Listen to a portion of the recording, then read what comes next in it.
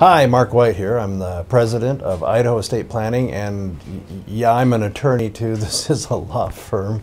We do estate planning and elder law. And I also am the host of Senior Matters Radio, which airs every Saturday at 12:30 p.m. on 670 a.m. That's KBOI.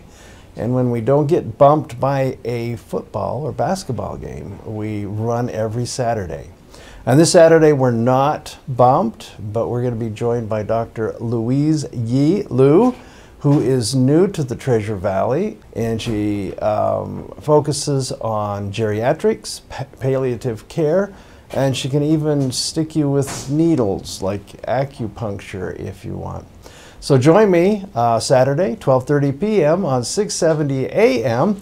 Or you can catch us uh, as a podcast always on idahoestateplanning.com. Uh, click on the button that says Learn, and uh, there's a little drop down menu, and you can find all of our uh, podcasts or old radio uh, programs. You can find us there.